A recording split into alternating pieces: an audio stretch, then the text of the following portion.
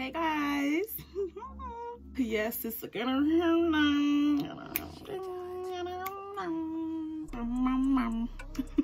Got my hair done. Cute. It is late. Y'all already know what I be using. Magic Collection. Boom. Oh. hey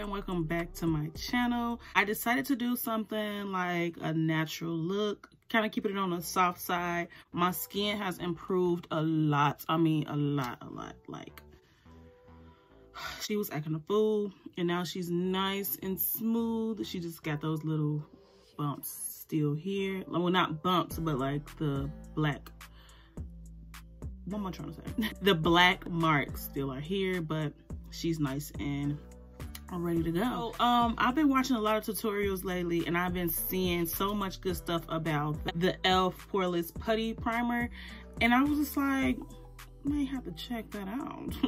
so I wind up buying it. I was gonna buy it online, but I ended up going into Walgreens and purchasing it along with the uh, Black Radiance. You guys know that this is like an OG of mine. I love Black Radiance. Like that was like the first products I've product brand I've ever started with with foundation um powders all that was like black radiance was my go-to. I ended up buying their um this is the fine line waterproof eyeliner. Um, this is how it looks.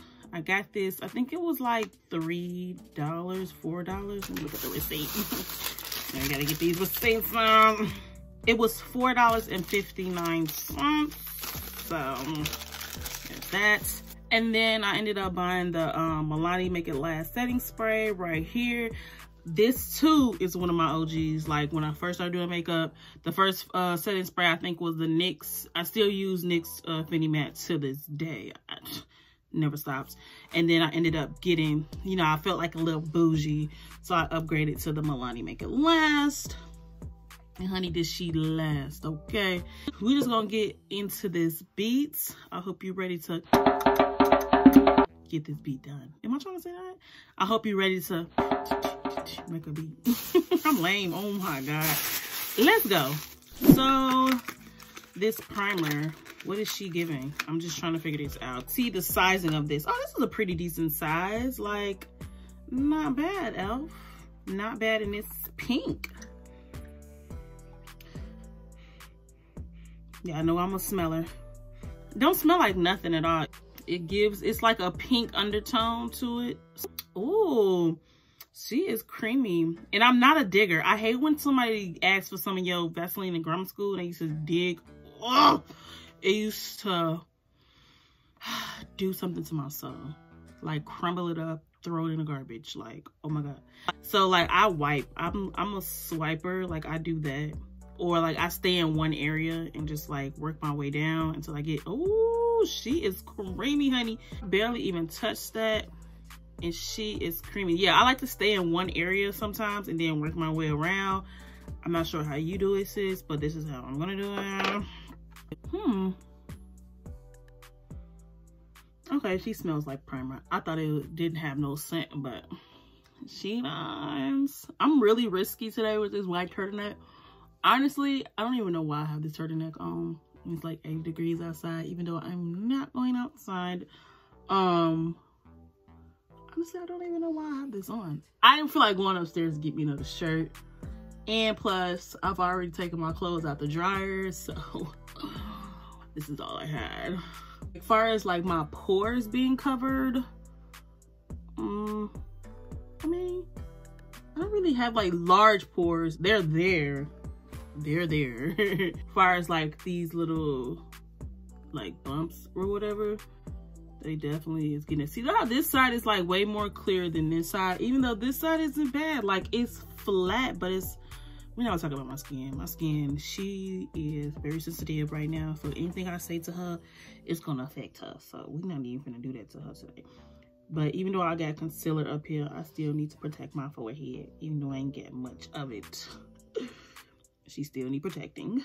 Honestly, I'm liking this. It feel really thick. Like, I'm surprised. I'm kind of shocked, honestly. So, I'm going to pair it with the Milani um, foundation. This is 2-in-1 concealer in the shade Chestnut. I'm trying to see how I'm going to do this with my turtleneck on. I'm about to go change my shirt. I just can't risk this. Like, I don't even know why I have this turtleneck on. Really, I just wanted to focus on the face, but I'm thinking too much. So I'm just to go ahead and change my shirt.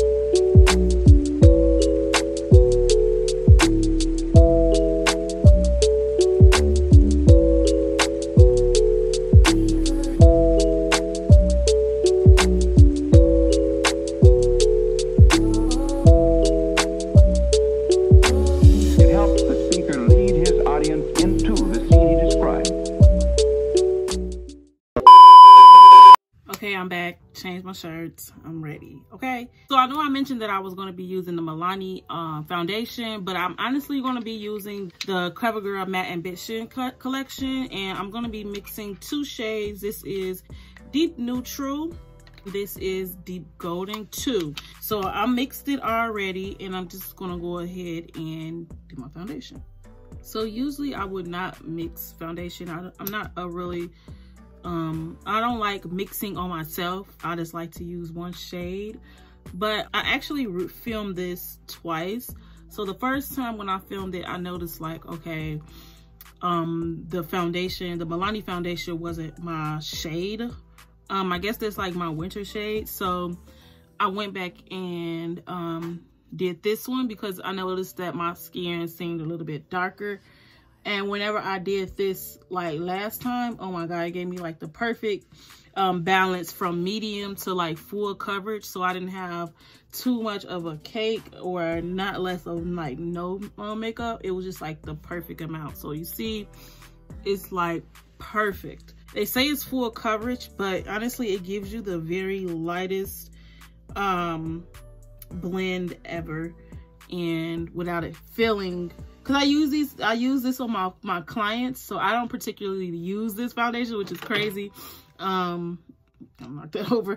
Um, I don't particularly use this foundation, but honestly, I, I forgot how good it was. Put a little bit more and then we're good to go.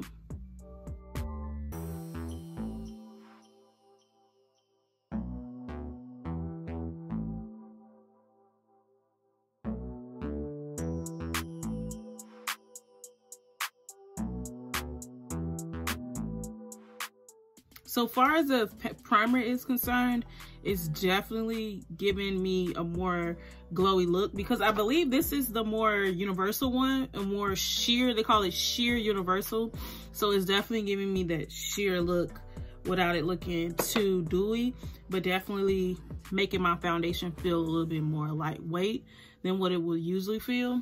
So I like that. That's A1 for me. The ultimate test is when the concealer comes on um, then we'll know like, okay. But for the foundation and how the primer is really making me feel like I don't have anything on, I like that.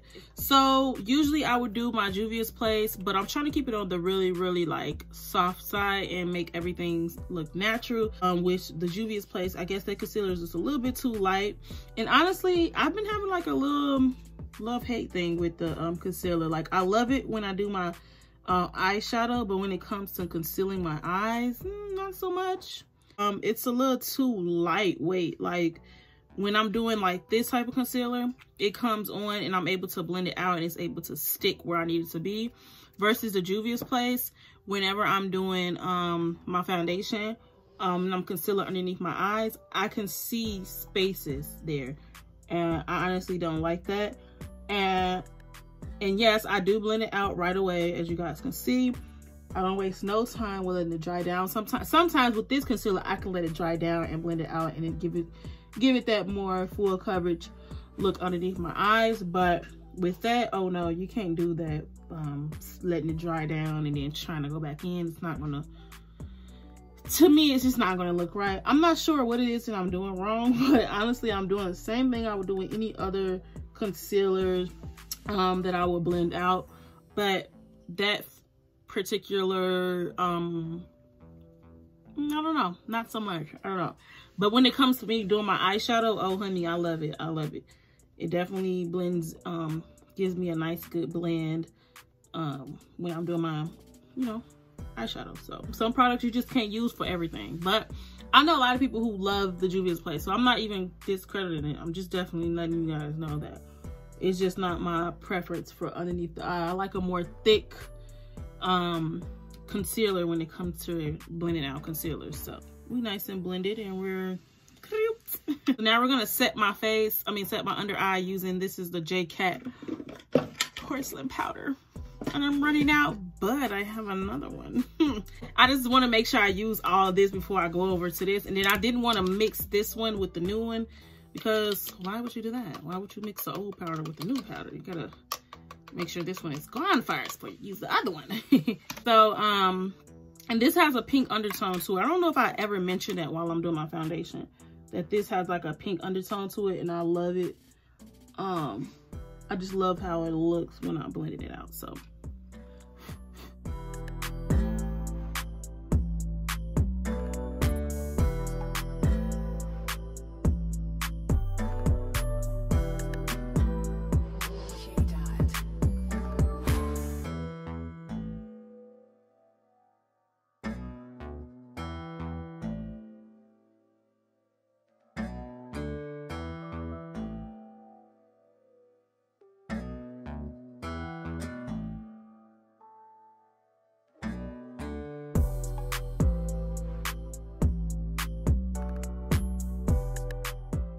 Okay, so if you guys want a more full in-depth uh, foundation routine, I will have that linked in the description box below.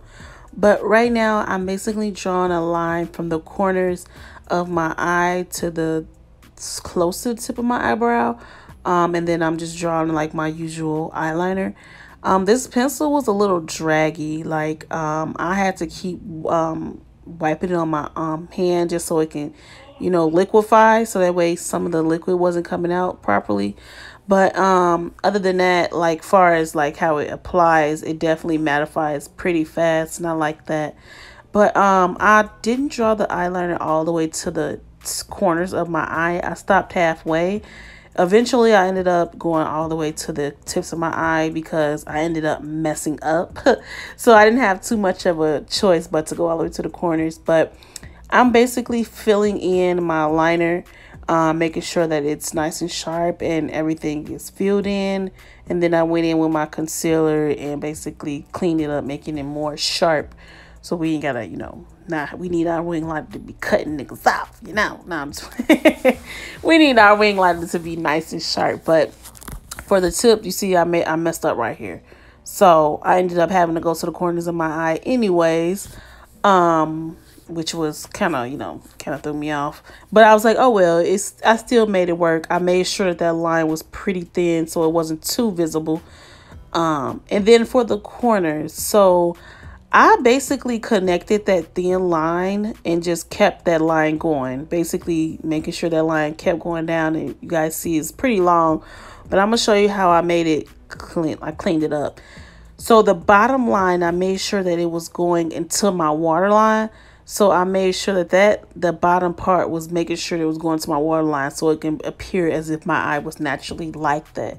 So when I went in with the concealer, I just made sure that I just cleaned up the edges of my eye. Um, and then making sure that it was nice and sharp because I had a hard time making that line sharp with liner on its own. So thank God for concealer. It definitely helped me clean that up. So you do it based off the shape of your eye and make sure that you follow the um, eyeliner that's already on your eye.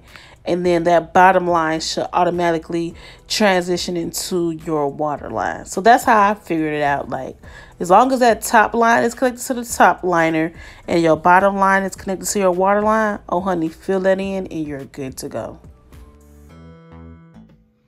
So I kind of like this, but I'm a more dramatic person. So I'm going to add on to this part right here, make it a little bit more thick.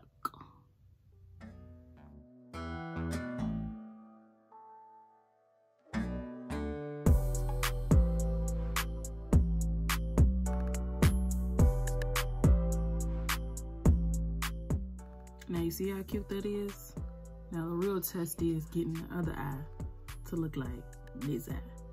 So uh, you seen how I struggled that time, man. I'm good at really, I'm really good at eyeliner, but when it comes to like more dramatic eyes like this, it was just a little bit more tedious. I didn't, I didn't know like which way to go. I don't want people to be like, that's not how you're supposed to do it. It's like, where's the rule book? Okay, so now that my eyeliner is on, I try to get them, get them as even as possible. I love it when the eyes are closed. So I'm gonna go ahead and put my lashes. You guys I already know I'm gonna be using my Dulzura Cosmetic lashes. These are in the style Chigona. I'm not even sure if I'm pronouncing this right. I'm gonna have a hard time pronouncing a lot of words sometimes. Once I figure out the name and how to pronounce it, I'll say it right. But for now, she's called Chigona.